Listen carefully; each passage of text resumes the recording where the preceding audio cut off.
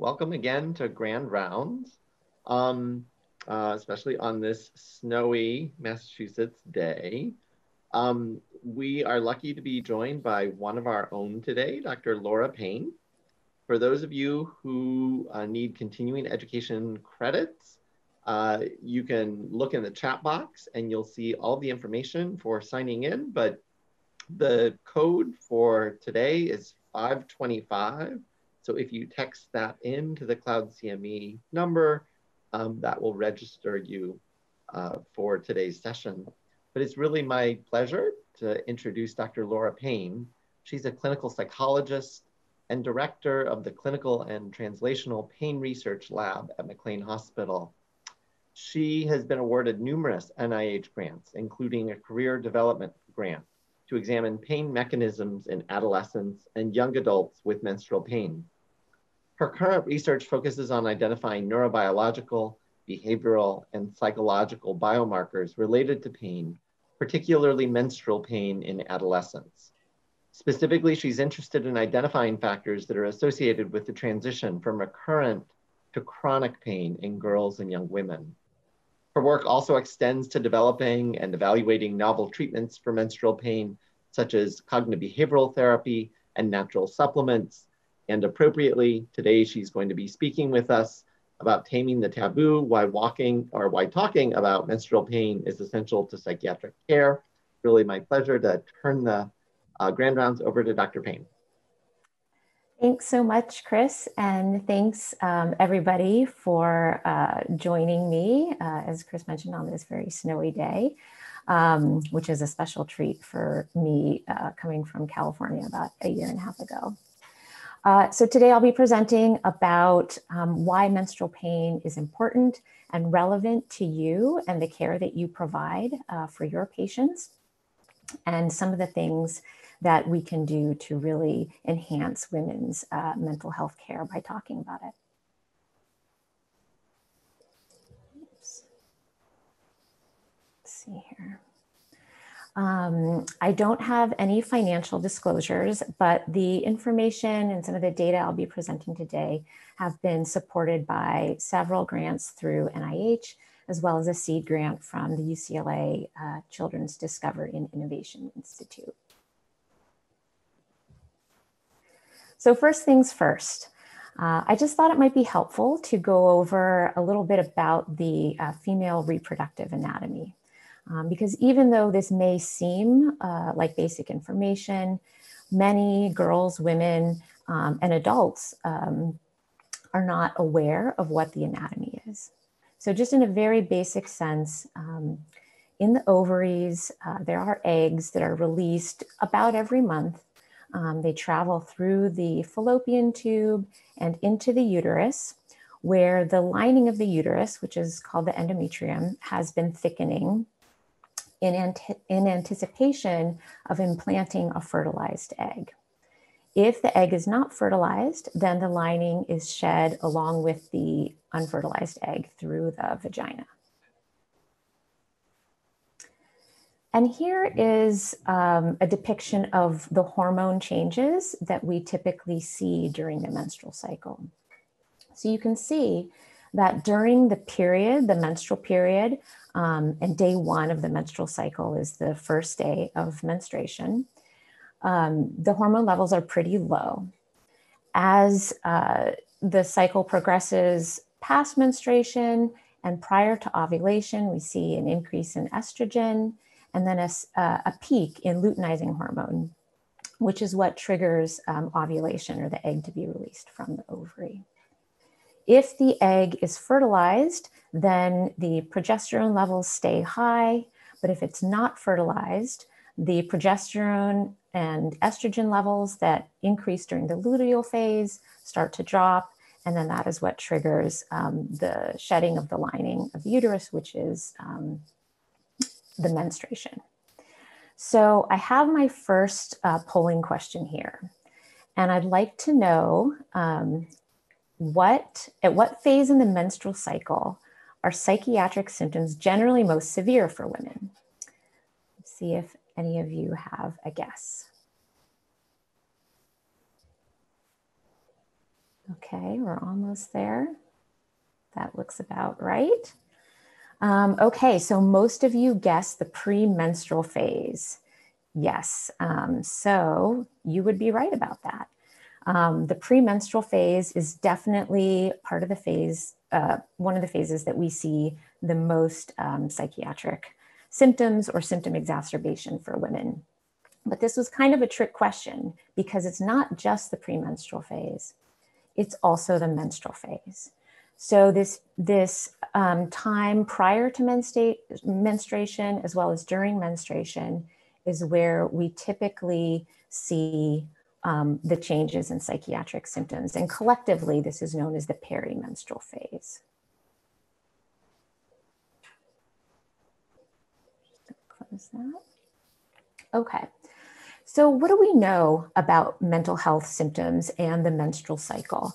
Um, there is a huge body of literature on these different types of symptoms and diagnoses. So, I'm just going to touch on each a, a little bit that very generally summarizes what has been found. But with anxiety, we know that in the premenstrual phase, there tends to be increased state anxiety as well as fatigue. Um, whereas in the menstrual phase, we see increased reactivity to physical sensations. For psychosis, there tends to be increased psychiatric admissions in women with schizophrenia or other psychotic disorders um, in this perimenstrual phase, including premenstrual and menstrual. Um, but this is not clearly related to symptom exacerbation. So it hasn't been clearly shown that symptoms change, but the distress about the symptoms does seem to increase um, potentially resulting in the psychiatric admissions. Cravings are usually highest during the perimenstrual period in substance use disorders and in healthy women. There can be increased hypomanic or manic episodes in the premenstrual phase in bipolar disorder. In borderline personality disorder, we can see um, increased reactive aggression and anger in the mid-luteal phase, which is just about at the, the premenstrual phase. Um, and for eating disorders, we see weight preoccupation, emotional eating, and negative affect highest in the perimenstrual phase. So quite a few areas where we're seeing this symptom exacerbation. And of course, um, with regard to depression, there have also been two um, syndromes that have received their own diagnoses because they are so clearly um, tied to the menstrual phase. Premenstrual syndrome is characterized by irritability or sadness in this premenstrual phase. And it can also be related to exacerbation of depression in women who are already experiencing depression. And then premenstrual dysphoric disorder uh, is, is a severe form of PMS with very severe mood symptoms that we see again in the luteal phase, which is, is really the premenstrual phase. So we see quite a few changes happening across all different types of symptoms. And in fact, a recent um, meta analysis of 32 papers that included 3,800 participants looked at the overall risk of mental health events, which are defined as anxiety, psychosis, substance use, and suicide risk during the menstrual cycle phases from what has been published. And they found that the greatest risk for these mental health events occurred in the menstrual phase and in the premenstrual phase, which is what we've seen in some of the, the um, earlier work that I presented. But what was really interesting um, is that during the menstrual phase, when they looked at that specifically compared to the other phases of the cycle, there was a 26% greater risk of suicide deaths, a 17% greater risk of suicide attempts, and a 20% greater risk of psychiatric admissions um, compared to the other phases. In the premenstrual phase, there was a 13% greater risk of psychiatric admissions. So clearly, these changes in the menstrual cycle are dramatically affecting women and women's health to the point of increasing their risk of death. And so we're wondering, you know, why is this happening? What is what is causing some of this the, these symptom changes? And I think an obvious and understandable first uh, explanation would be hormones. Um, and certainly the evidence suggests that hormones do play a role, possibly a very significant role. Um, but the exact mechanisms or the ex exact hormones um, that cause these changes, we still don't know. There's um, ovarian hormones such as estrogen and progesterone, and in particular, allopregnanolone, which is a metabolite of progesterone that seems to um, affect both mood, anxiety, and other emotions, but it is not exactly clear in which ways. Um, and so there's still a lot of work to be done there. And it could be even the ratio of the hormones within an individual person that changes that could cause the symptoms. So there's a, there's a lot of complicating um, factors there that we still haven't completely figured out. Another possibility is social isolation. Um, certainly, if a woman is experiencing a lot of intense discomfort in the premenstrual or menstrual phases, this may limit her ability to connect with other people, um, friends, or family members, and result in her feeling somewhat isolated during that time. And certainly, that isolation could have an impact on emotional um, and psychiatric symptoms as well. And related to this, um, physical symptoms and discomfort can cause activity limitations. Uh, some women understandably use exercise to cope with emotional symptoms um, or other act or other activities they may engage in and may be limited in these activities uh, during this time because of physical discomfort. So all of these things could contribute um, together to affect different uh, emotions. But there's one other factor that is important to consider too, because that has been tied to uh, depression and anxiety as well, and that is pain.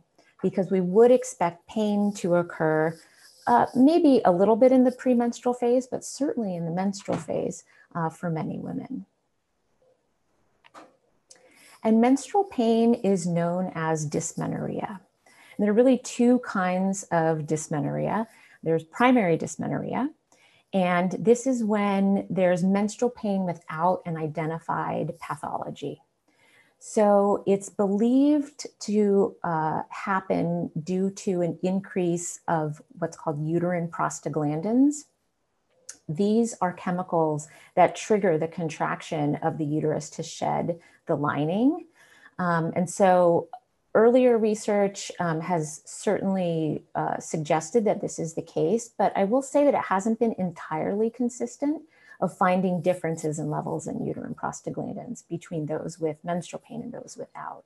So it's a significant factor, but it's probably not the only reason. And the other cause of menstrual pain, um, or the other type of menstrual pain, is called secondary dysmenorrhea.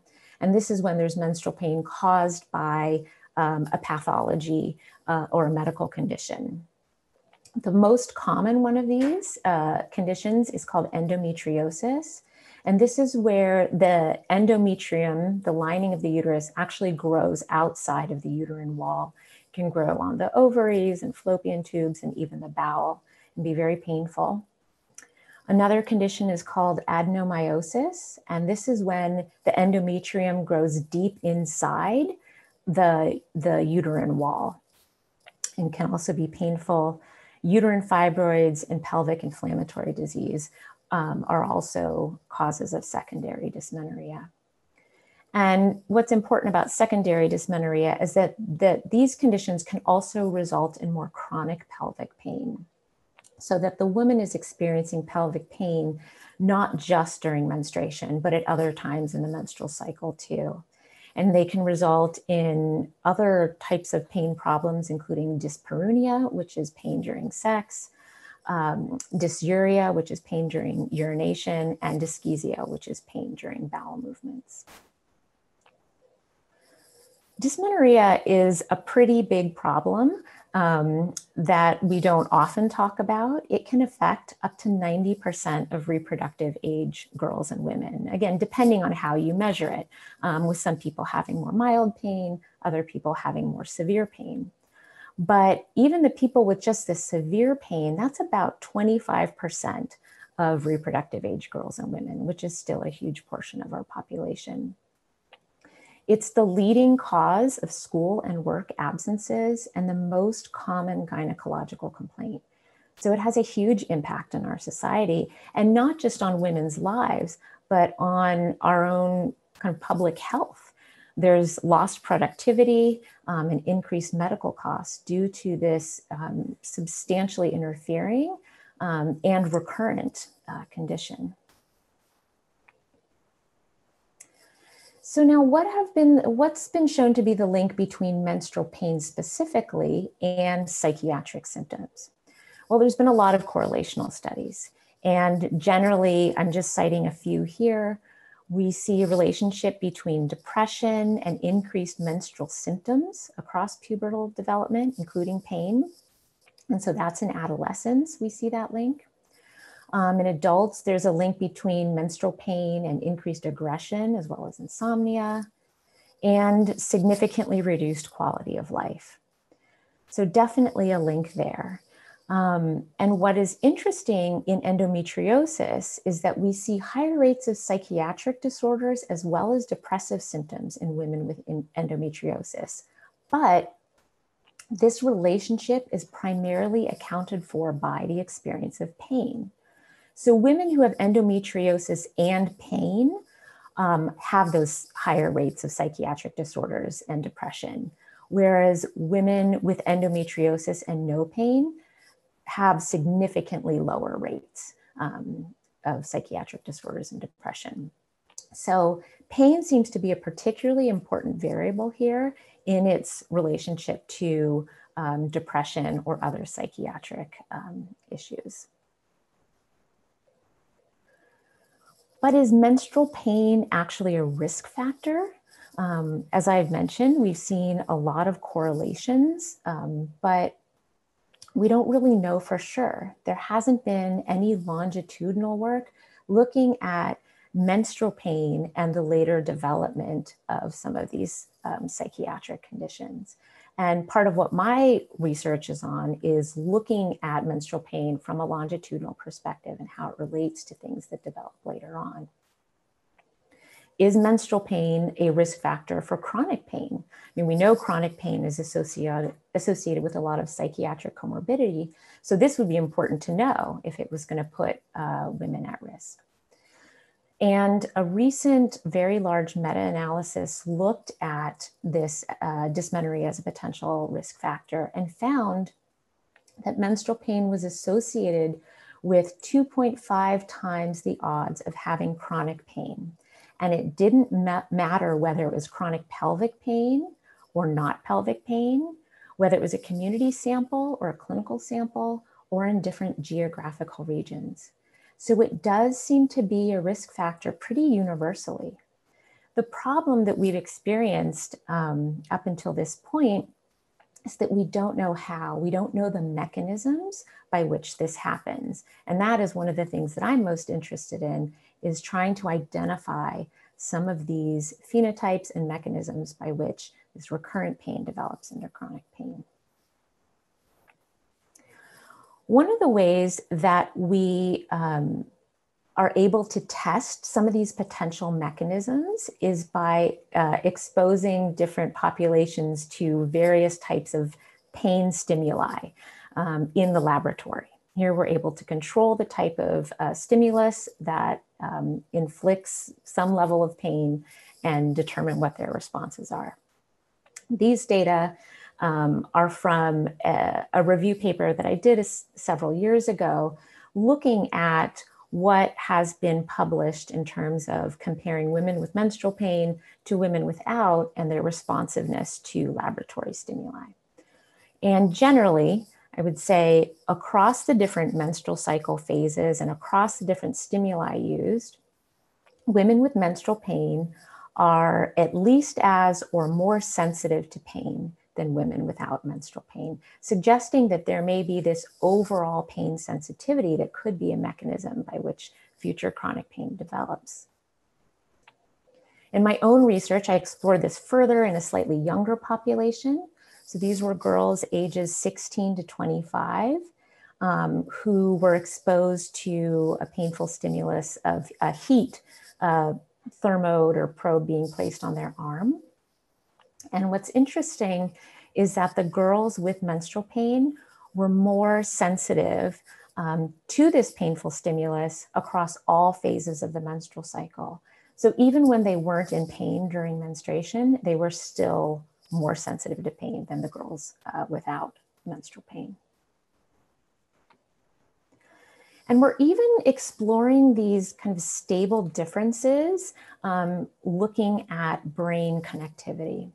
These data are, are, just pilot data from a very small study that I did in um, girls ages 14 to 15. And these data um, have not been published. But what you can see when you look at the, the differences in brains between the healthy controls and those with menstrual pain is that there's a lot more yellow circles um, in the brains of the girls uh, with menstrual pain.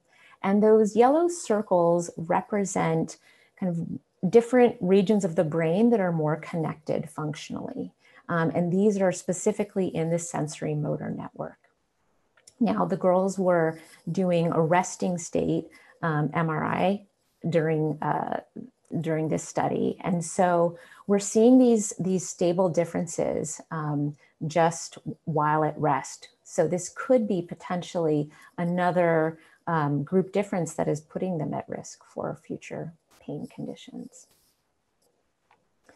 And last, uh, just speaking to this overall um, hypersensitivity to pain that may be the risk factor, I wanted to present these data that were just released on PubMed on Monday from some colleagues of mine um, in Chicago.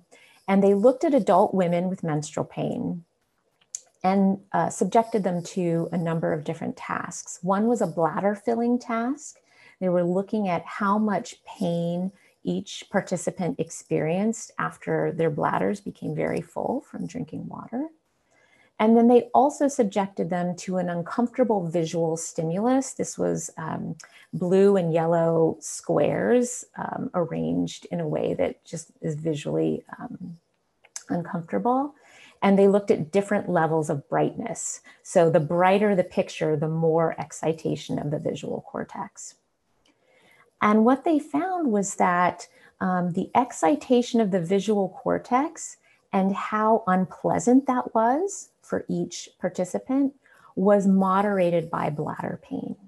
So, women with dysmenorrhea who had high bladder pain were more likely to rate the um, brighter picture as unpleasant. And basically, what this speaks to is that some women with menstrual pain have this multisensory hypersensitivity. And perhaps it is that um, phenotype or subgroup of women that is at risk for developing additional pain um, problems. So given all of these data, we know how much menstrual pain impacts women's lives. Uh, we know that it's associated with psychiatric issues, potentially chronic pain in the future. Why don't we talk more about menstrual pain? And I think one of the first and, and probably obvious uh, answers is that um, there may be stigma around menstruation. And in fact, we know that there have there has been centuries of stigma around menstruation across the globe and across different cultures where it's really not appropriate to talk about it and where some women are even isolated during the period of menstruation.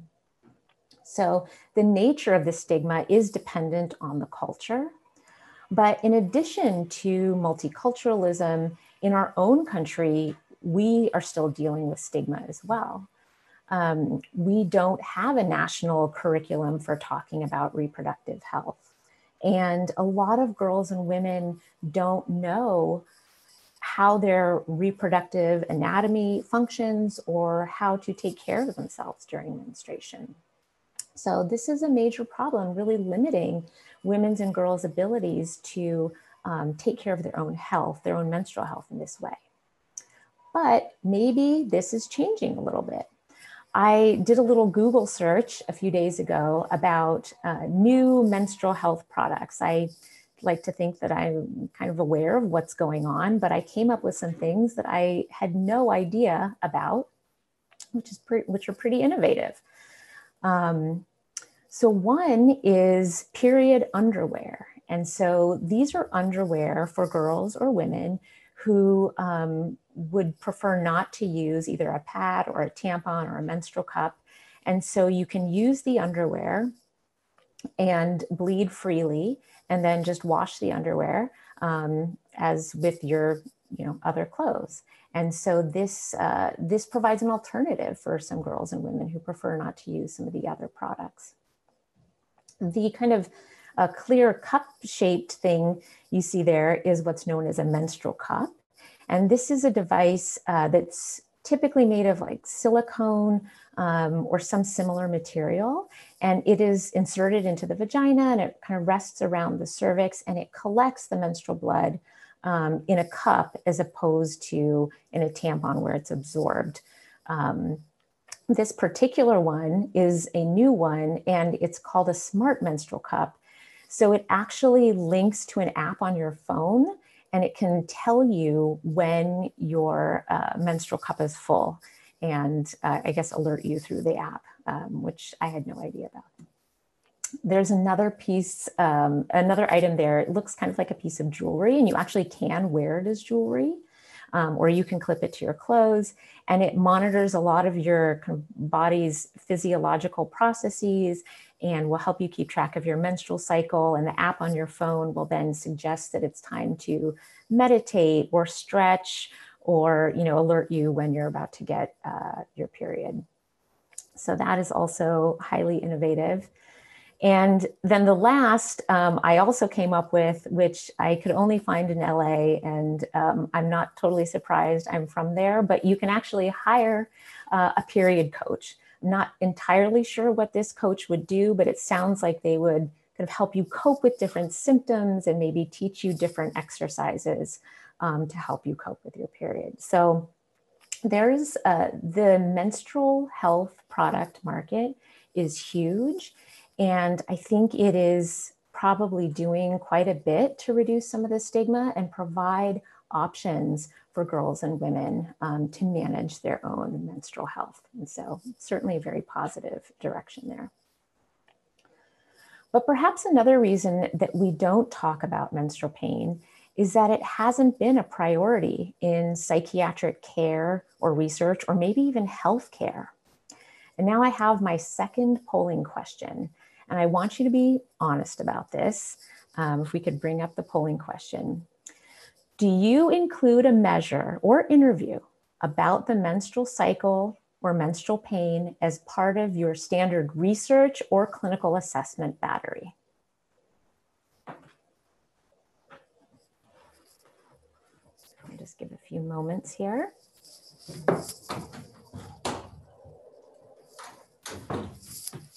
Sorry to let my cat out of the room.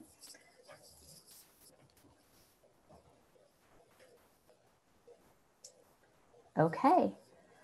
Um, okay, so it looks like the majority of people, 84%, do not. And that is not surprising um, at all. Let's uh, stop sharing here.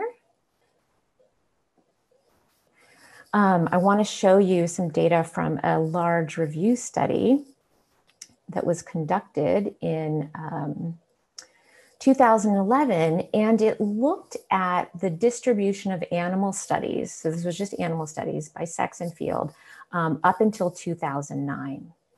And here we see that there's been significant disparities in research um, regarding uh, inclusion of female, in this case, it was animals, um, but aspects of female participants. And it was only until a few years ago that NIH required sex as a biological variable. And we see in a number of these different fields here um, immunology, neuroscience, um, physiology, pharmacology that it was primarily studied with male animals or it was unspecified. And so this really limits our ability to understand pain, specifically in women and specifically menstrual pain. And isn't it amazing that um, menstrual pain and menstruation affects half the population, but the other half of the population, men, don't know what it's like? Um, now, of course, we know that this goes both ways and that women and girls also don't know what men and boys uh, experience as well. Um, and we can't totally appreciate their experiences. So it's, it's not one sided. But since we are discussing menstrual pain, um, just on a lighter note, I'd like to show this video, which, which is actually an ad. It's not um, a, an experiment, a real experiment of any kind but that demonstrates what it might be like for men to experience menstrual pain. And this is done by attaching electrodes to the man's abdomen and back um, and stimulating muscle contractions that would be kind of similar to uh, menstrual pain.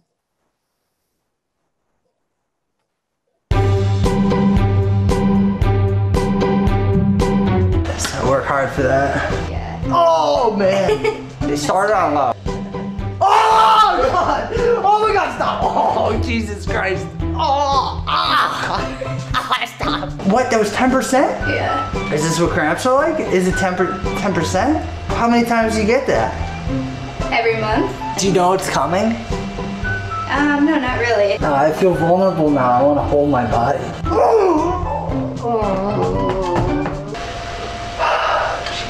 Yeah? Okay. Alright. Is it going right now? Yeah. And you're talking to me? Yeah. That's what I was doing? Yeah. That's what I was doing. It's still going? It's been This going this is whole like time? this is probably like a minor period. You can just walk around and just pretend like nothing is happening? I have to do that. So um, anyway, I hope you enjoyed that. It was just a, a, a funny little video that I found. Um, anyway, getting back to why we don't typically talk about menstrual pain, I think there's also um, an assumption that we can just take a medication, um, specifically a non-steroidal anti-inflammatory drug, which does work for a lot of women and girls. Um, and but the assumption is that it works for everybody, and that's that's what we should just take. That there are treatment options available, um, so it's really not much of a problem for many women. But in fact, there there are pretty limited treatment options. So NSAIDs like ibuprofen, acetaminophen um, do work for some girls and women but up to 18% of women report experiencing little or no benefit or relief um, from NSAIDs um, with regard to their menstrual pain. So this is a pretty big uh, portion of the population that is still suffering and can't find relief um, from these medications. Another uh, common suggestion is hormone treatments like birth control, um, the oral contraceptive pill. And um, these work by regulating the menstrual cycle.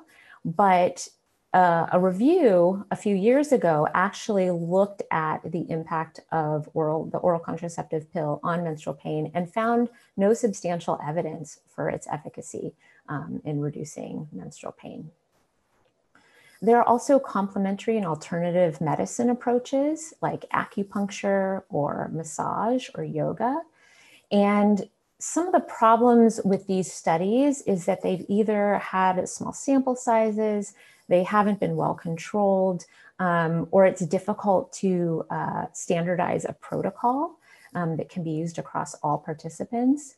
And so um, some evidence does support these uh, alternative medicine approaches, but again, they're not accessible for everybody um, and they can be quite costly. So um, that's not really a great option for most of the population.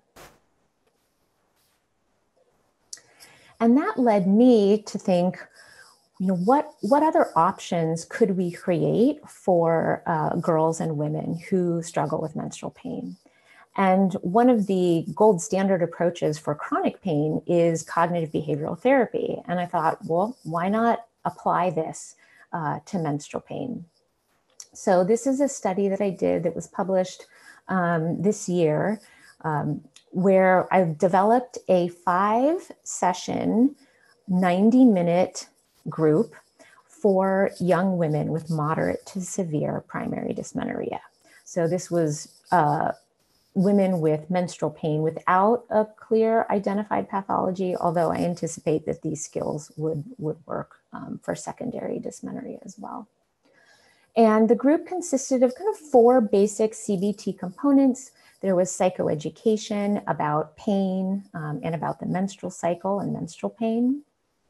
Um, there was a mindfulness component, so learning mindfulness, relaxation, learning decatastrophizing, which is basically cognitive uh, restructuring, cognitive challenging, and then developing and utilizing coping skills. In terms of the feasibility and acceptability, um, in this pilot study, we enrolled four cohorts and 20 out of the 24 enrolled completed it, but all the dropouts were due to scheduling difficulties. So all 20 other uh, participants completed uh, the study by attending at least three out of five classes. They also rated the intervention very highly on the credibility factor of a specific questionnaire, suggesting that, that this type of group um, would be feasible and acceptable for this population. And in terms of the results, um, these are the results from a mixed model analysis looking um, at their average menstrual pain rating, beginning at pre-treatment, at three-month follow-up, and then at 12-month follow-up. And we did see a significant decrease um, in average menstrual pain rating over that year. Um, and it wasn't a huge decrease, but going from about an eight to maybe about a five or six is, is can be quite notable. Two points is pretty significant, um, and it could have an impact um, on enhancing quality of life. And in terms of the psychological measures, what was interesting is that we didn't see um, any significant changes in somatization or depression or anxiety. Um, again, this wasn't a clinical sample. This were these were primarily college students um, without any psychiatric issues. But we did see a significant reduction in what's called pain catastrophizing um, over the course of that year, suggesting that they were um, better able to um, not catastrophize their thoughts about menstrual pain, uh, meaning that they um, didn't overestimate how bad it was going to be or um, underestimate how they could cope with it. And then, even in the people that didn't experience improvement in pain during their qualitative um, interviews, we saw improvement in coping. So, one quote was My menstrual pain didn't improve so much, but my ability to mentally deal with it improved. Uh, or there was no improvement in the pain, only in how to deal with it when it gets very bad. So, suggesting that the group did offer something even if pain didn't change. So, now that we know all about the impact of the menstrual cycle, but particularly menstrual pain um, on girls and women um, and their uh, psychological and emotional experiences, what are we going to do about it? I have a couple thoughts. In terms of research, I think we must acknowledge that the menstrual cycle and menstrual pain are potentially critical biomarkers for female participants. And by not including these measures, we're really missing a, an incredibly important element of female participants' experience. So, my first suggestion is try to measure the menstrual cycle in your studies. And you can do this in a very um, minimal, kind of low effort way to a very detailed way you can start by just estimating the cycle phase based on the last menstrual period. It's not perfect, you won't know it exactly, but if their last menstrual period was five days ago, you're going to know that they're probably uh, at the end of menstruation, they're in the uh, follicular phase, versus if it was 25 days ago, then they're probably in the luteal phase. Um, it'll be a little tougher if they're, you know, about 14 or 15 days from their last menstrual period because you're not entirely sure if they've ovulated at that point, but at least you'll get a better sense of kind of where things are at. You could also have participants prospectively track their menstrual cycle using one of many, many free apps available, um, maybe prior to coming in for the research study. And this would give you an even clearer sense, not relying on their memory of their last menstrual period, but when it actually happened. Um, and it might be able to provide even more detailed information. Another possibility is if, if you're already collecting saliva or blood samples, um, you could analyze those for estradiol and progesterone and at least get an estimate of the um, hormonal influences that may be um, that they may be experiencing, um, as well as potentially where they were in the menstrual cycle. And additionally, you can include a measure of menstrual pain. Um, this can be a simple question, like on average, how much pain do you have during your period on a scale from zero to 10? Zero being no pain, 10 being the worst pain possible. Um, that is a pretty standard measure and it's one question and it may be something that um, could provide some additional insight into what your participants are experiencing on the day of the research session. You could also go very detailed and get a, a, very detailed menstrual pain history, such as when menstruation started, when pain started, um, has it changed over the course since the pain started, has gotten worse, gotten better. Um, and this could provide a lot of detailed information as well. In terms of clinical perspectives, we know that menstrual pain and changes in the menstrual cycle are affecting your patients.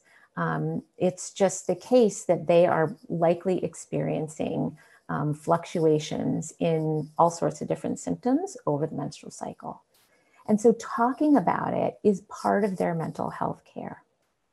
You can start talking about it by just asking if menstrual pain is a problem, asking if they notice that their symptoms change around menstruation, or maybe at some other point in the cycle, and how this is affecting them.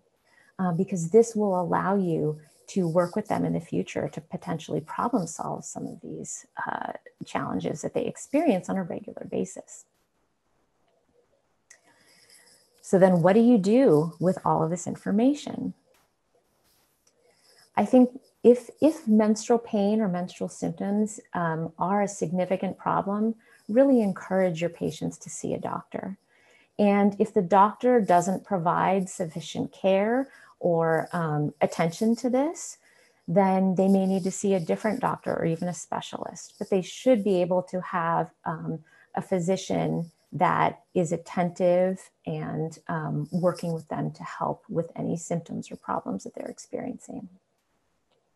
You can help your patients track their menstrual cycle and their emotional symptoms to really look for patterns. This is what I mentioned a little bit earlier that by, by being able to predict when symptoms are going to occur, it'll give them a sense of um, control and allow you both to work together to plan ahead for these times that are going to be more challenging. You can help them identify stressors and problem solve ways to reduce stress. Um, and that may have an impact um, on their ability to function with symptom changes in, in the cycle, teaching relaxation strategies, developing new appraisals for what the pain means. Maybe it doesn't mean that it's going to be, you know, several days of just being isolated and in bed. Maybe it could mean that it's uncomfortable and things have to be done differently, but there are other activities to do to still um, foster a sense of wellness and health. And you can help your patients develop a sense of mastery over the pain by learning these new ways of coping and learning all sorts of different ways of coping. It can be um, an interesting experiment to try out all sorts of different things and see um, what might be helpful tools in specific situations. So, in conclusion, um, menstrual pain is a very real and serious problem for a huge portion of our population. And if you haven't experienced it, it's very likely that a friend or family member of yours has. So I encourage you to get comfortable with the topic and consider that the menstrual cycle and menstrual pain um, are important things in both research and clinical work so that we can continue to address the stigma of menstruation, reduce health disparities for women, particularly around menstruation, and better serve uh, women's physical and mental health needs. And with that, um, I would just like to acknowledge my research team and collaborators, in particular Laura Seidman, who is my lab and project manager and has been a part of this research from the beginning, as well as Dr. Greenfield, Dr. Lucas, Dr. Nickerson, Dr. Kumar, and Dr. Pizzagalli, and my collaborators from outside of the McLean um, hospital system. The lab website is at the bottom. If you're interested in learning more, feel free to go there and explore a little bit about uh, the studies that are happening now. Um, and thank you for your attention. Thank you, Dr. Payne. That was a um, that was a great presentation, and uh, it it raises a lot of issues and a lot of questions, at least in my mind. Um, I want to remind people if you do have questions, please type them into the question and answer box. We'll get through as many of them as we can. But, um, you know, I, I have um, one or two questions, thoughts, challenges just off the top of my head. And, you know, so one, you know, one issue is that, as you mentioned, um, menstruation itself, just the pure act of menstruation, has been stigmatized and shamed and for, for millennia. Um, we're not supposed to talk about it. It's embarrassing. It's it's somehow dirty. It's somehow you know tainted. Like that's not something that people in good company are supposed to discuss. Right. Um, you add to that the lack of clinical efficacy of actually doing anything about the menstrual pain. Um, so even the, you know, you mentioned that hormones are very commonly used, but unfortunately, there's not good evidence that they actually do anything for the pain. And then on top of that, you know, I'm aware of a whole body of literature that shows women who take oral contraceptive pills are more likely to have clinical depression. So we might actually be adding insult to injury. Not only are we not helping their menstrual pain or cramps, but we might actually be contributing to the psychiatric comorbidities that are commonly found. And we have pretty good, robust data that women on, you know, contraception are, you know, more likely to have all sorts of psychiatric disorders, suicidality, depression, all sorts of other things. Um, and then on top of that, you, you made a very compelling, obvious case for the comorbidity between menstrual pain and psychiatric, you know, uh, challenges. And we know psychiatric illnesses are highly stigmatized. And, um, you know, people, if they are depressed, they're just supposed to stop complaining. They're supposed to suck it up. Just, you know, you have to complain all the time. Um, and, and so when you combine those, when you combine those, like somebody who is chronically depressed and now is having increased pain every month, and people are kind of just getting tired of the person complaining, tired of nothing helping. You've tried five different pills and none of them are working. You've been to three different doctors who all kind of write you off and say, well, just tough it up. You know, that woman in the commercial could take it. Why can't you?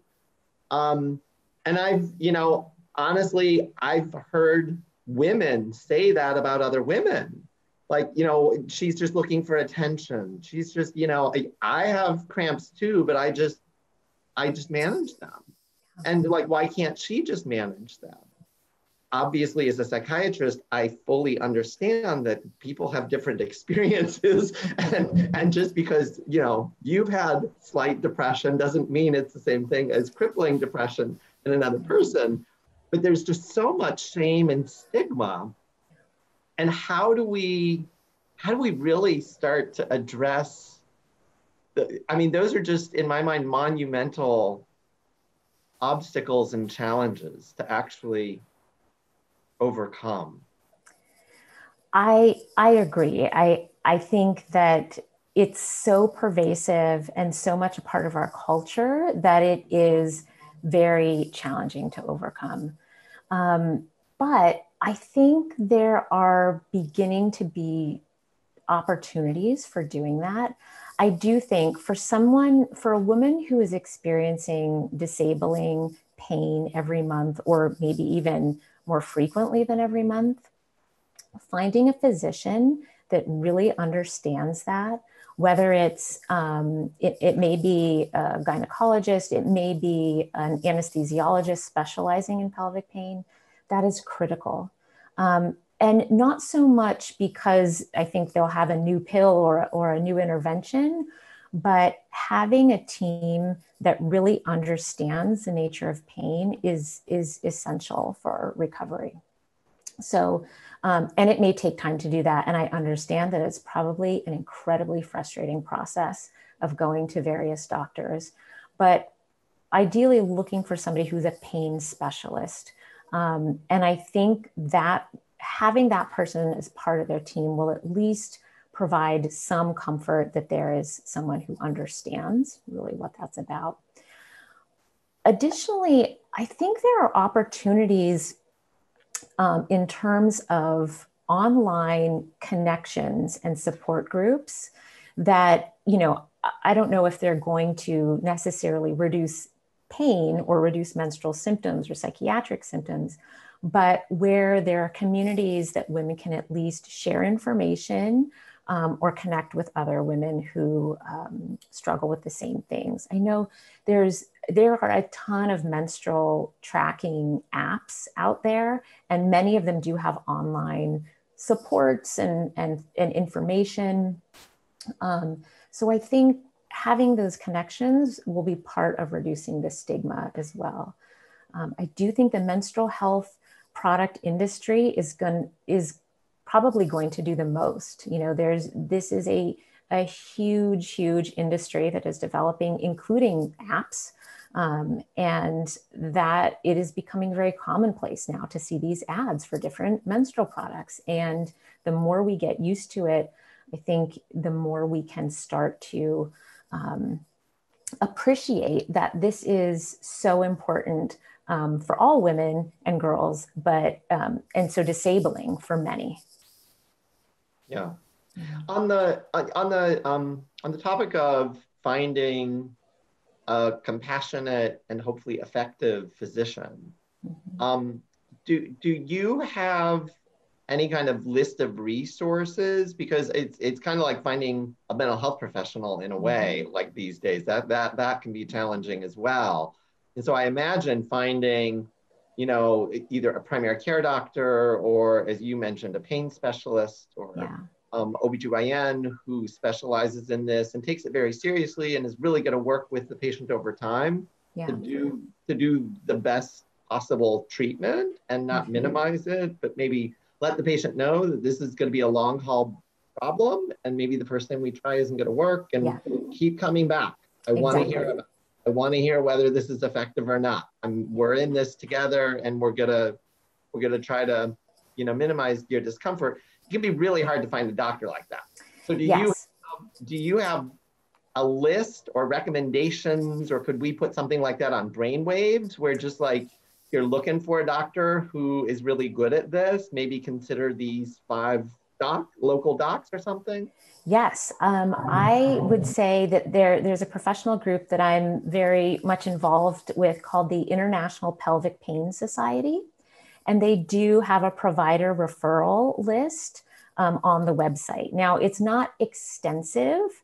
Um, I'm sure there are people in the Boston area, but sometimes even contacting somebody who is um, not maybe right in the area you're looking for, but a couple hours away, they're usually kind of familiar with who is in the area and may be able to recommend somebody.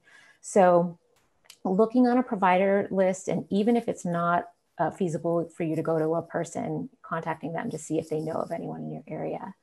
Um, uh, myself and some other colleagues at Newton Wellesley Hospital have also um, founded the, the Boston area Women's Pain Collaborative. And so this group, um, we just met last night actually, consists of psychologists, um, gynecologist, physical therapist, um, anesthesiologist, and we don't have any formal referral list, but if um, if somebody specifically wanted to contact me, I could reach out and look for who has availability for for for people who at least are attending, you know, this um, this grand rounds, and I'd be happy to do that. That's great. Um, somebody typed into the comments that our women's health nurse practitioner colleagues might also be able to help manage um, some of these patients. Yes, um, yes. And I will go to our at least next question, which is any, you know, CBD, cannabidiol is like the cure-all right now for pretty much everything on the planet. And so what about, what about CBD for menstrual pain?